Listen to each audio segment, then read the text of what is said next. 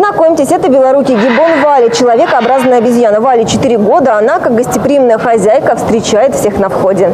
Если забыть о том, что зооленд расположен в современном торговом центре, здесь ощущение полной причастности к дикой природе. Невероятные по красоте экзотические животные, которых вряд ли встретишь даже в заграничной поездке. Например, обезьяна-игрунка жуфруа обитает лишь на одном континенте земного шара – в Бразилии. Каждое животное здесь уникально, все виды редкие.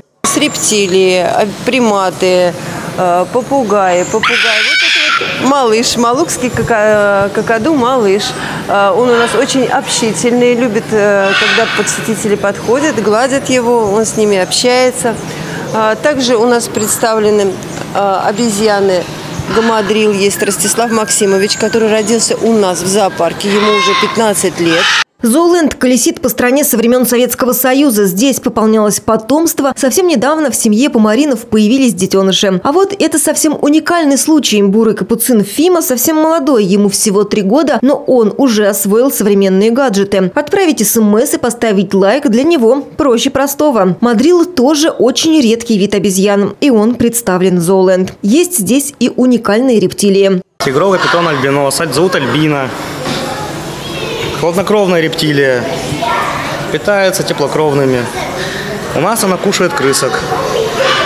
Вот, вес у нее сейчас около, почти около 20 килограмм на мне. Она еще вырастет. Вырастают они до 8-9 метров.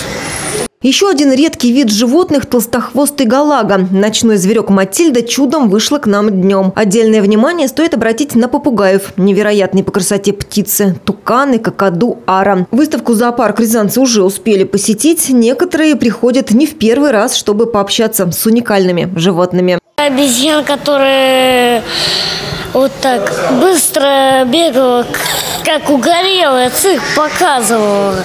Нам очень понравилось. А, Я вообще впечатлена гамадрилом. Вот. Мы, мы от него не отходили раз восемь, к нему, наверное, подходили. Да, сынок? А, Очень здорово, что организовали такую выставку, и что, в общем-то, мы можем увидеть а, столь редких животных. Еще один редчайший вид рептилий – это водные черепахи – мата-мата и грифовая. Они тоже представлены в зооленд. Лемуры, гамадрилы, мартышки самых разных видов. Теплокровные и хладнокровные животные ждут встречи с вами в торговом центре «Премьер» на третьем этаже с 10 до 20 часов ежедневно. Зооленд будет работать в Рязани до 2 сентября. Мария Рудая, Станислав Кудряшов, телекомпания «Город».